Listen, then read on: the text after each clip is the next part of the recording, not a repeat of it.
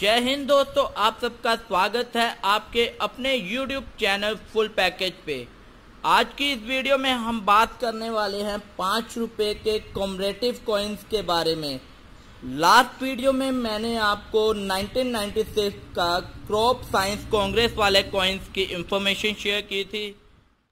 1996 के बाद 2001 में भगवान महावीर 2600 जन्म कल्याणक के थीम के साथ इस कॉइन को इशूड किया गया, जिसकी एक तरफ़ अशोका स्तंभ और डिनोमिनेशन वैल्यू दी है, साथ ही भारत रुपए इंडिया रुपीज़ मेंशन किया हुआ है। इस कॉइन्स को कॉपर निकल धातु में 9 ग्राम वज़न के साथ बॉम्बे और नोएडा मिंट में इशूड किया गया।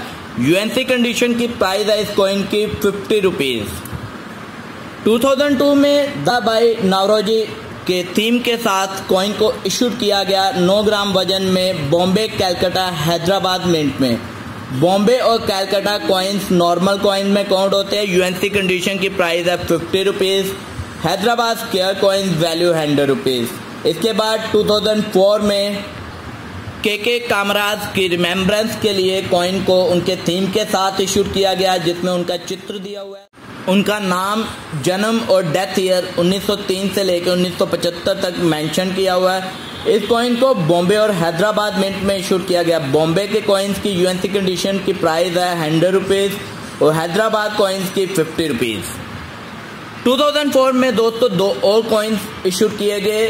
एक लाल बहादुर शास्त्री की बर्थ सेंचुरी के थीम के साथ जिसपे मेंशनड है Lal Bahadur Shastri birth century year 1904 से 2004 ये कॉइन स्केयर कॉइन्स में काउंट होता है और कैलकाटा मिंट में इशूड किया गया। इस कॉइन की यूएनसी कंडीशन की प्राइस है हंड्रेड रुपीज़ इस कॉइन को स्टेनलेस स्टील में भी इशूड किया गया, जिसका वज़न 6 ग्राम है और इस कॉइन्स को कैलकाटा और हैदराबाद मिंट में इशूड किया गया। नॉर्मल कॉइन्स में काउंट होते हैं यूएनसी कंडीशन की प्राइस 15 टू 20 रुपीज़ है। इसके बाद 2005 में 75 ईयर ऑफ़ डांडी मार्च, यानी कि 75 साल पूर्ण होने पे डांडी मार्च के कॉइन को इशूड किया गया। दो डिफरेंट मेटल में कॉपर निकल धातु में और साथ ही साथ स्टेनलेस स्टील में। कॉपर निकल धातु में कॉइन जो इशूड हुआ, उसका वज़न नौ ग्राम और उस कॉइन पे मेंशनड है 1930 to 2005 75 year of Dandi march.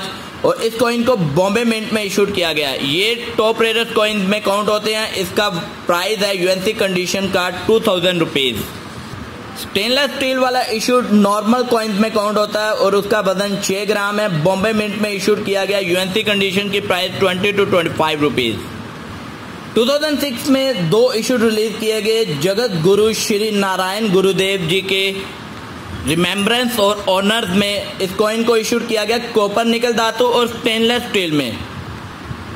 Copper nickel धातु वाला 9 ग्राम के वज़न के साथ बॉम्बे मिंट में और यूएनसी कंडीशन की प्राइस है फिफ्टी रुपीज़ ये कॉइन स्केयर कॉइन में काउंट होता है। इसी में स्टेनलेस स्टील वाला जो इशू रिलीज़ हुआ है, छह ग्राम वज़न के साथ बॉम्बे मिंट में ये कॉमन कॉइन में काउंट होता है। इसकी value ten to fifteen rupees 2006 में दो और इशू रिलीज़ किए गए। एक कॉपर निकल धातु में और एक स्टेनलेस स्टील में। महात्मा बसवेश्वर की रिमेम्बरेंस में, उसके ऑनर में। कॉपर निकल धातु में इस कॉइन को बॉम्बे मिंट के साथ यूएनसी कंडीशन का प्राइस थर्टी रुपीज़ ये कॉइन स्केयर कॉइन में काउंट होता है। और स्टेनलेस स्टील में बॉम्बे मिंट का common coin value ten to fifteen rupees दोस्तों, इस वीडियो में मैंने आपको 11 इशू की इंफॉर्मेशन शेयर की। आने वाली वीडियो में बाकी पेंडिंग इशू को कवर किया जाएगा। तो मेरी वीडियोस पे बने रहें। तब तक के लिए आप लोगों से अलविदा लेता हूँ। धन्यवाद। जय हिंद। जय भारत। वंदे मातरम।